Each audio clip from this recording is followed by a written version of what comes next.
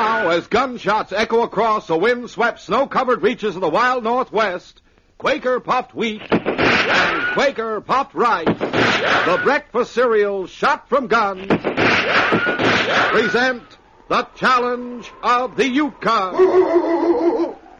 It's Yukon King, swiftest and strongest lead dog of the Northwest, blazing the trail for Sergeant Preston of the Northwest Mounted Police in his relentless pursuit of lawbreakers. On King! On, you husky! Gold, gold discovered in the Yukon. A stampede to the Klondike in the wild race for riches. Back to the days of the gold rush. With Quaker puffed wheat and Quaker puffed rice, bringing you the adventures of Sergeant Preston and his wonder dog, Yukon King, as they meet the challenge of the Yukon.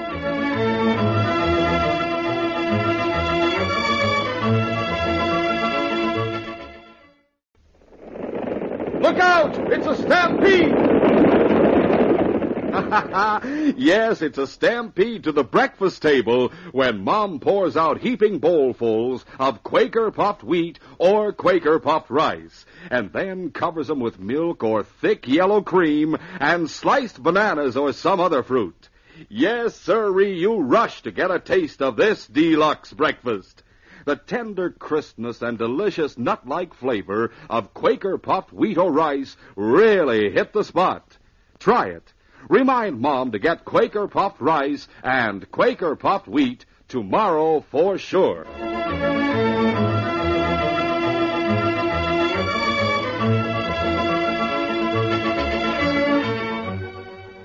Rocky Harris was what men in the Yukon called a drifter. One who appeared here and there, never filing or working a claim, and having no visible means of support. He had come to the Yukon Territory just after the United States had declared war on Spain. One day, Rocky sat in the Nugget Cafe in Selkirk talking to a newfound acquaintance, a gambler named Slick Green. Rocky was saying, I'm sure glad I ran into you, Slick. Most of the guys I meet up here are afraid to listen to me. Hey, Rocky, it's none of my business, but uh, you must have had a dirty deal in the States from the way you talk. Or maybe you skipped out on the law. Maybe I did. You don't believe in digging for gold, eh? I figure there are easier ways to make dough. All I have to do is find them. How are you on handling cards? About average, I guess. Too bad. Maybe we sort of could have worked together. Yeah, it is too bad. But I'll have to find other ways, and frankly, I'm not too particular. And maybe if you weren't skipping the law in the States and was free to go back there, I I could throw some easy money your way at that. I didn't say the law was after me. How could I make that easy dough you talk about? I can't tell you about it now. Anyway, we'd have to talk private. Come to my room at the hotel tonight at 8. I'll have somebody else there to meet you and talk things over. That night at 8 o'clock, Rocky Harris went to the hotel. A few minutes later, he stood knocking on Slick's door. That's you, Rocky. Come on in. Thanks. Uh, Rocky, this is my friend, uh, Carlos. Glad to meet you, Carlos. The pleasure is mine, senor. Sit down, Rocky. Yeah, thanks. Now let's get to the point, Slick. I'm anxious to know how I make that cash you spoke about. Oh, so the senor is not one to waste time, no? I've wasted enough time already. My cash is running low. I told Carlos all I knew about you, Rocky. I, uh, I figure he might have a few questions to ask you, though. Questions about what? About you, senor, of course. Hey, you're Spanish. Uh, let us say I'm a Mexican citizen, senor. Since you are from the States, I suppose you would resent it if I were Spanish, perhaps. it doesn't make any difference to me, Carlos. Being a patriotic fool isn't one of my virtues. I'm out for the cash regardless of where I get it or how. I see. You're on good terms with the law in the States, senor? Sure. At least I haven't heard that they're looking for me. I came up here because I thought there'd be easy money around. Unfortunately, I dare not cross the border for certain reasons, amigo. Well, why do you care to go there? The way you talk, I figure you want to. As I said, I cannot. But it would not matter if I find someone that I can trust to go for me. You mean that's the job I get cash for? If you are selected for the job, Si, senor. But make up your mind. No use sitting here all night for nothing. But I am not the one to make the final decision, Senor Rocky. Then who is? Ah, do not be impatient, amigo. We shall take a few days to become better acquainted. Then next week, you will meet her. Her. You mean a woman will make the final decision? Si, senor. I cannot tell you more until the proper time arrives. The talk is ended, senores, for the moment. Let us go to the cafe for some refreshments, eh? Meanwhile, in Dawson City at Northwest Mounted Police Headquarters, the inspector was in earnest conversation with Sergeant Preston. Sergeant, I sent for you because I feel that you are the one to take a certain assignment. One that's slightly out of the ordinary. Oh? What is the assignment, Inspector? You know, of course, that there was a reported robbery at the American consulate two nights ago. Yes, sir. I heard about it when I arrived from Forty Mile this morning. The information to, to what was actually missing hasn't been given out. Frankly, a State Department code book was taken. Oh, that's serious, sir. Yes, it is, since the United States is at war with Spain. We've questioned all those who were guests that night. That is, all but one. And who is that one, sir? A Mexican dancer named Senorita Revilla, who was at the Opera House all last week. She sailed on the boat for Selkirk the morning after the robbery. Well, if you suspect her, sir, why not telegraph ahead and have her detained for questioning? I prefer not to have her on her guard, Sergeant.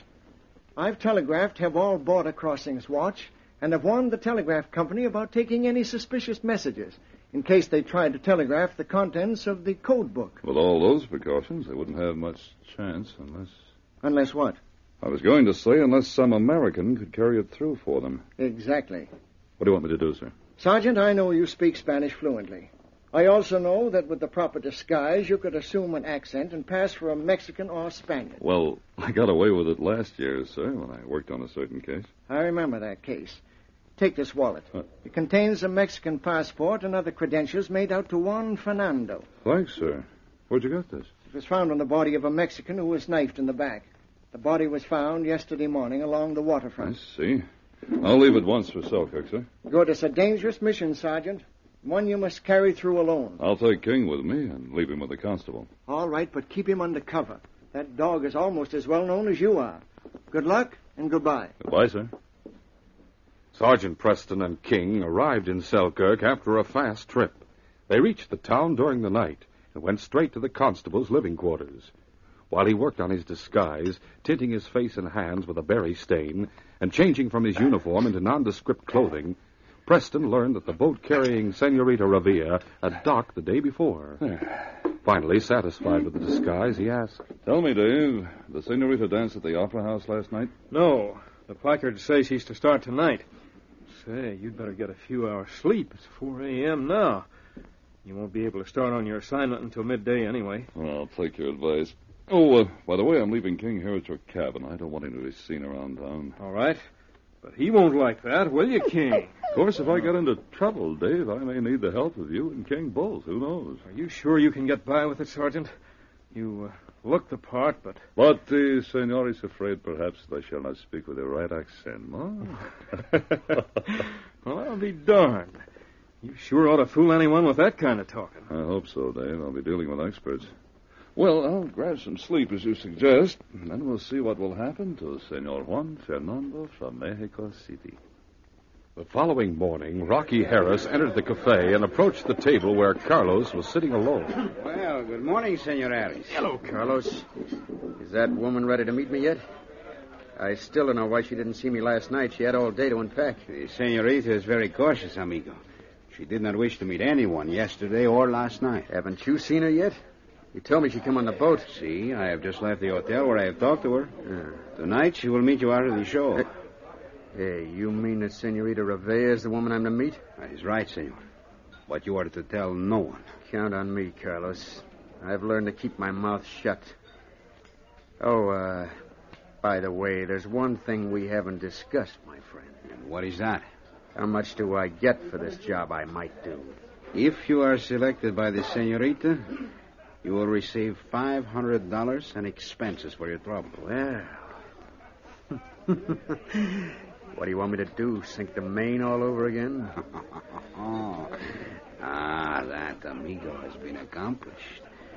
Your job will not be near so difficult.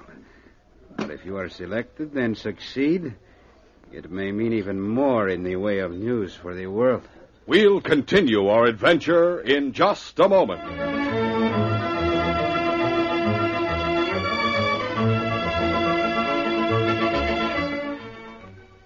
Say, fellas and girls, can you tell me what this Morse code message stands for? Sure, I'll bet you can guess that it stands for Shot from Gun. And that means Quaker puffed wheat And Quaker puffed rice. the shot from guns breakfast cereal the whole family goes for. Man, oh man, huge guns are loaded with premium grains of wheat or rice. And then, These choice king size kernels are actually exploded up to eight times normal size. that makes them bigger and better tasting. makes Quaker puffed wheat and Quaker puffed rice crisp and tender as nuts in November. They're shot through and through with bang up nut like flavor, too. and most important, they're nourishing. Good for you. Both delicious kinds furnish added food values of restored natural grain amounts of vitamin B1, niacin, and iron. So try delicious, nutritious Quaker puffed wheat and Quaker puffed rice. So tasty, so easy to serve, topped with milk or cream and fruit. To get the original, crisp, fresh wheat or rice shot from guns, always look for the smiling Quaker man on the big red and blue Quaker package. He's your guarantee that you're getting the one and only delicious Quaker puffed rice. And Quaker puffed wheat.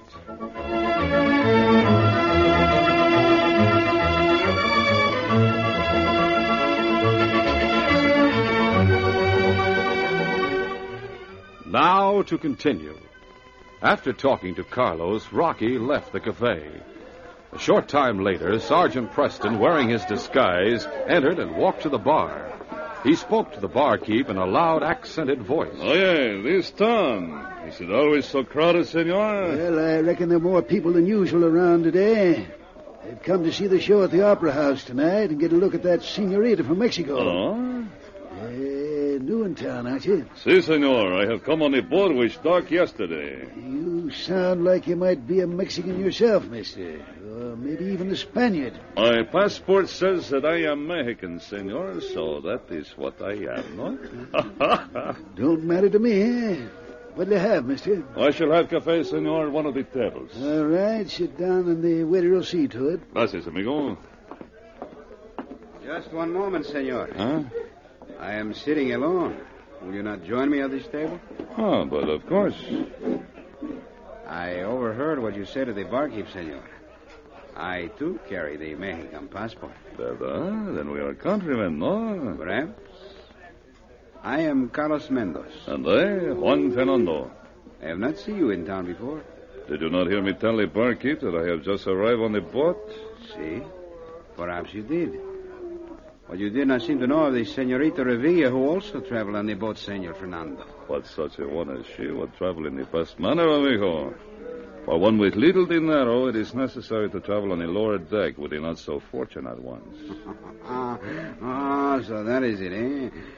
Uh, you will stay in Selkirk? If there is work for such as one, Fernando, senor. Well, if one is not too particular, work might be found. no one has ever said that Juan Fernando is particular. I understand. I shall meet you again, amigo. Huh? It may be that I shall be able to use your help. Quien sabe? Now I must go. Adios, Senor Fernando. Adios, senor. That evening, just before the show started, Carlos had a short talk with Senorita Revilla in her dressing room. I shall bring the Americana to see you at the hotel after the show, Senorita. I was hoping, Carlos, that you could manage to get the code book across the border. But you have done well to find out they are watching. It is my business to find out things, Senorita. I see. Carlos, we can trust this Americano. Of course. I watch him close. He's reckless, without scruples, without honor. And there is another who may be of help to us here. One of our countrymen, I'm sure. Though he carries a Mexican passport, just as we do. So, and who is that? A senor who has just arrived on the boat. Senor Juan Fernando. Juan Fernando.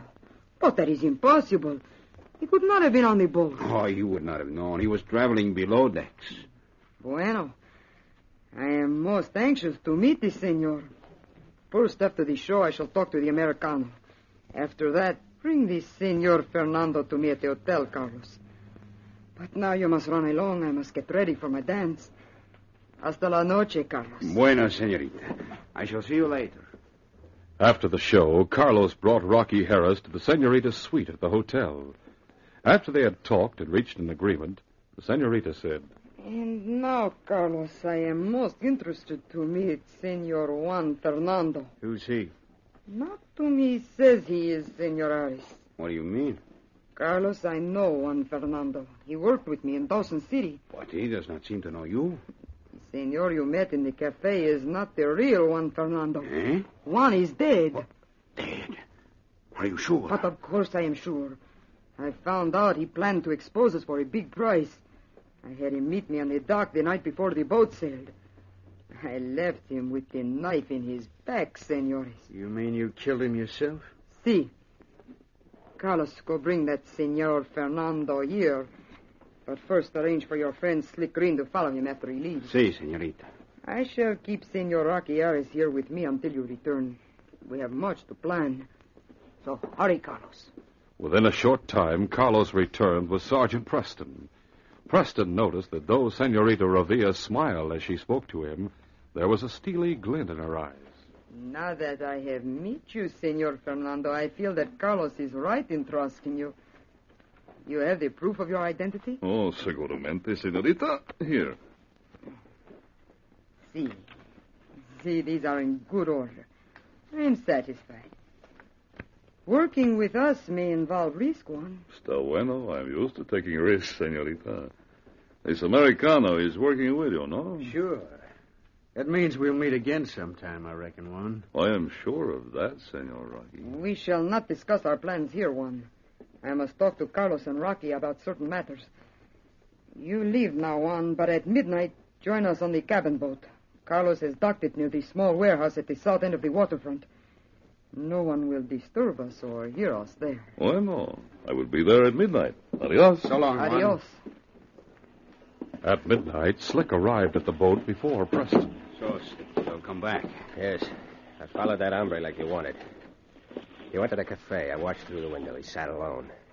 After having coffee, he played solitaire. When he got up to come here, I beat it on the head. Bueno. Then he met no one. That's right. Uh, he does not know he will not leave this boat alive.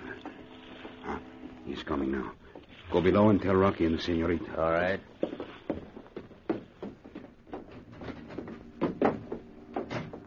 Well, Juan, you are right on time. But of course. We shall join the others in the cabin.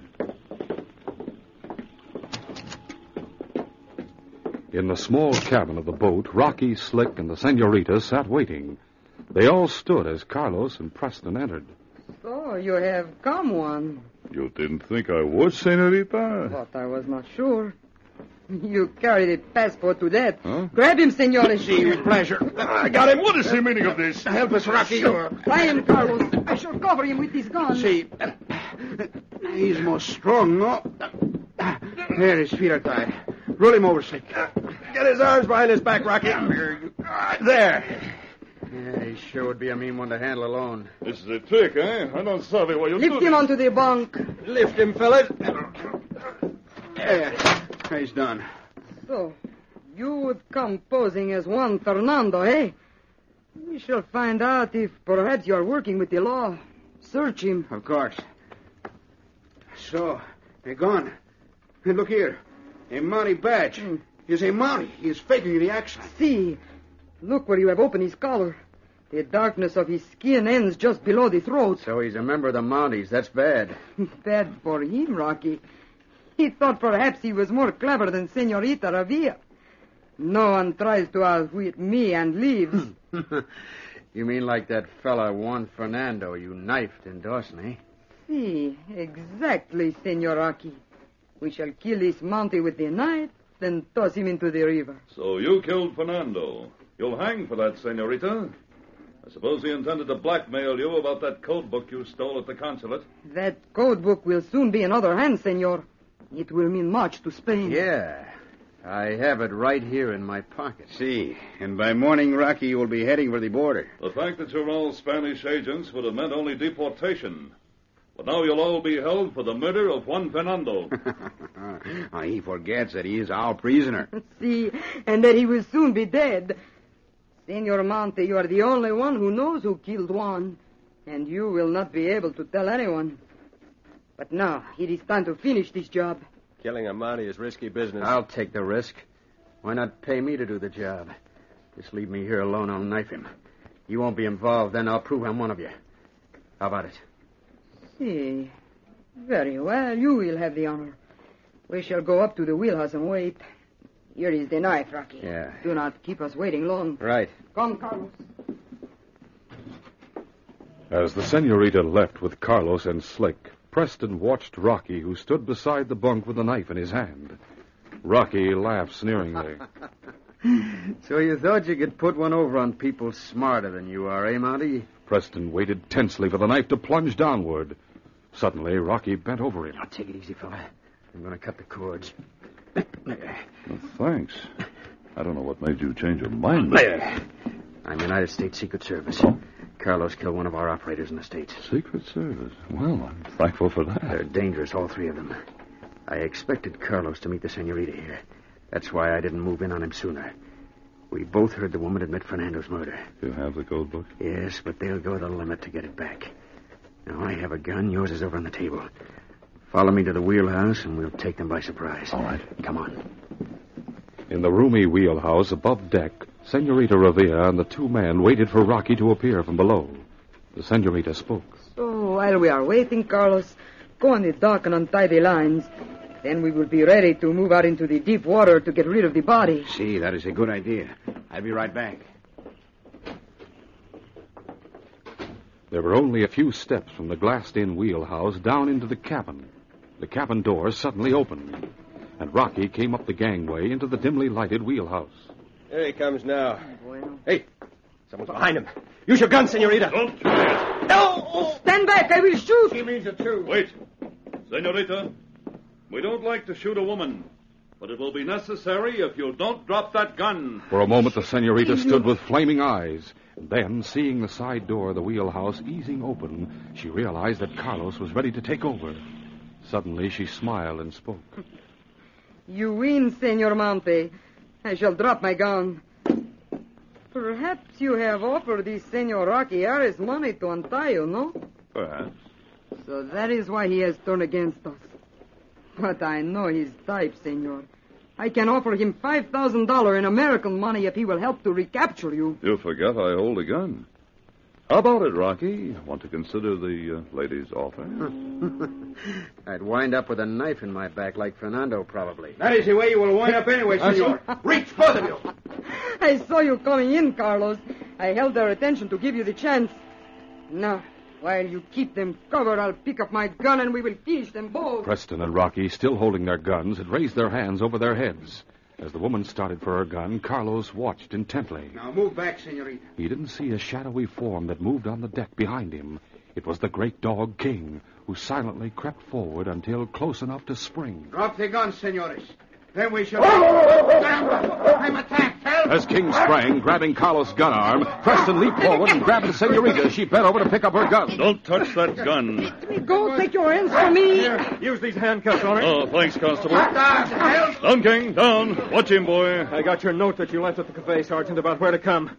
King picked up your scent and ran on ahead of me when we reached the waterfront. Good thing he did. Constable, meet Rocky Harris, United States Secret Service. Howdy, Glad to know you, Harris. Service. So that is it. Ah, Carlos, we are lost. You were lost, ma'am, when Sergeant Preston took up your trail. Sergeant Preston. Holy smoke, no wonder we were caught. we both played a part, Sergeant. We were playing for big stakes. I'll want extradition papers to take Carlos back to the States. The authorities here will take care of the other two. Yes. The senorita is wanted for a murder committed in this country, and Slick will be held for attempted murder. And there are three spies your country won't have to worry about any longer. Yes. My work is done up here, Sergeant. The code book's safe, and Juan's murderer is caught. We'll get them to jail now. This case is closed.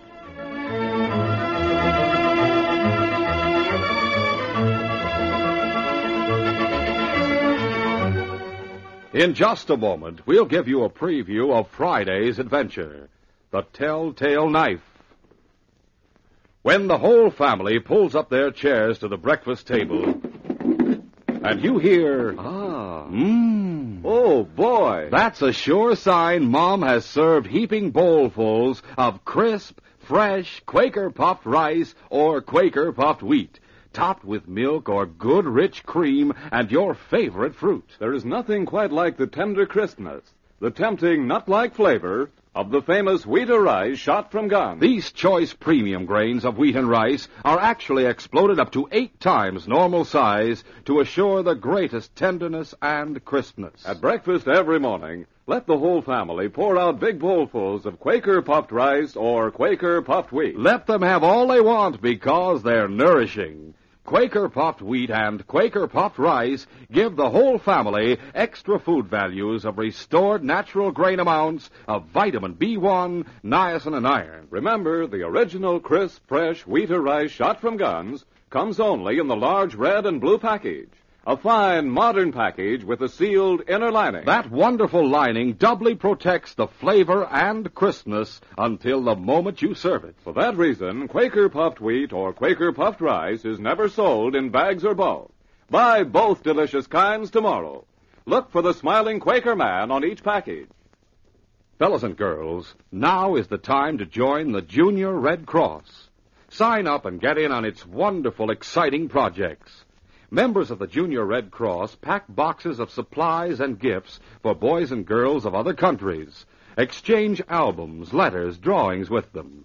Junior Red Cross members help in their own towns, their own country, by learning to fight forest fires, give first aid, prevent accidents. Yes, you'll be proud to be a member of the Junior Red Cross. Sign up right away. And now, in Mounted Police Headquarters, where Sergeant Preston is seated in the office, the door bursts open and a man named Ben Scobie enters. Sergeant, you've got to come quick. Dave Wyatt has just murdered old Milo Perth. Dave Wyatt, are you sure? Positive. I saw the whole thing through the window of the old man's cabin. Dave is still there searching for something. And Milo was lying on the floor with Dave's knife in him. Come on, King. It's hard to believe Dave's a killer, but if so, it's our job to capture him. Oh, oh, oh, Did Dave Wyatt really murder old Milo Perth? If not, it'll be up to the sergeant to clear Dave and find the true solution of the mystery. But in doing so, he may find himself facing the guns of the real killers. Be sure to hear this exciting adventure Friday. These radio dramas, a feature of the Challenge of the Yukon Incorporated, are created by George W. Trendle, produced by Trendle Campbell Enterprises, directed by Fred Flowerday, and supervised by Charles D. Livingston. The part of Sergeant Preston is played by Paul Sutton.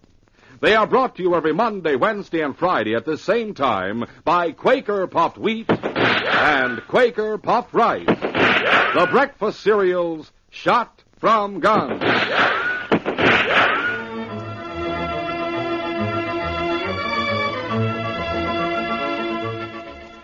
Remember, for delicious hot breakfasts, enjoy Quaker Oats. The giant of the cereals is Quaker Oats. Delicious, nutritious, makes you feel ambitious. The giant of the cereals is Quaker Oats. And here's why Quaker Oats is called the giant of the cereals. There's more growth, more endurance in oatmeal than any other whole grain cereal. So make your hot breakfast nourishing Quaker Oats. Quaker and Mother's Oats are the same.